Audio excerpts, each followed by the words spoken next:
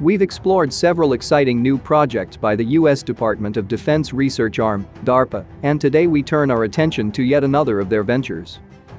In collaboration with NASA, DARPA has selected Lockheed Martin and BWX Technologies to advance the development of a nuclear-powered spacecraft that could pave the way for future missions to the Moon and Mars. The project, known as the Demonstration Rocket for Agile Cislunar Operations, or DRACO, is poised to provide an in-space test of nuclear thermal propulsion, a potentially revolutionary technology that holds the key to expanding humanity's reach into the cosmos, setting the stage for missions to distant worlds like Mars. In this video, we'll take a closer look at Project Draco, its implications, not only for the future of space exploration, but also for the evolving landscape of the renewed space race and its relevance to national security.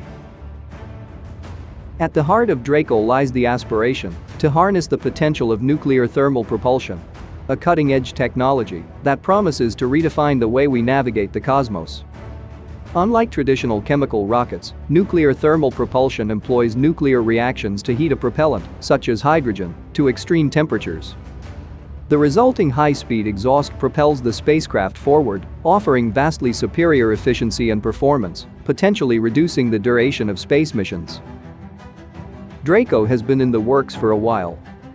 DARPA initiated the program in 2021, and NASA joined in early 2023. Lockheed Martin and BWX Technologies have secured the contract worth $499 million for developing their in-space test spacecraft.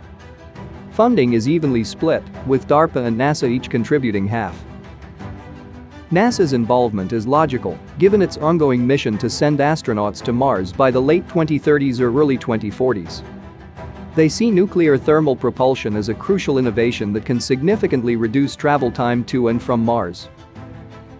In terms of the project's timeline, DARPA and NASA are targeting a late 2025 or early 2026 launch for the first in-space demonstration of Draco. The spacecraft to be developed for this mission will be positioned in a relatively high Earth orbit, likely ranging between 700 to 2,000 kilometers above the Earth's surface. This strategic altitude ensures that the Draco demonstrator will remain in orbit for years, allowing all of its nuclear fuel to be expended over time due to atmospheric drag. DARPA also reported that safety measures are paramount throughout the mission. Draco's nuclear engine will remain inactive until it reaches orbit, featuring a poison wire, a metal component that absorbs neutrons and prevents chain reactions, similar to control rods in nuclear power reactors on Earth. The spacecraft will operate in orbit for several months, with its primary task being the demonstration of the nuclear thermal propulsion engine's prolonged functionality in the space environment. The success of this operation relies on the challenging task of maintaining the hydrogen, approximately 2,000 kilograms of it, at super cold temperatures throughout the mission.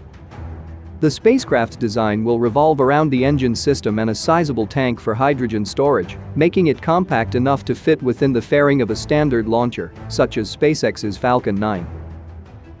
The renewed global interest in space exploration has given rise to a new space race, with nations and private entities vying for supremacy.